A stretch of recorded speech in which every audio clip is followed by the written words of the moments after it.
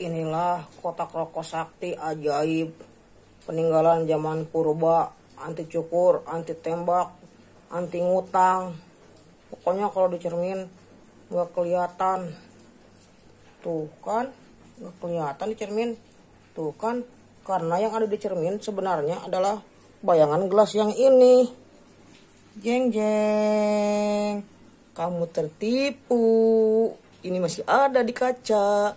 Tapi yang ini bayangan yang di kamera.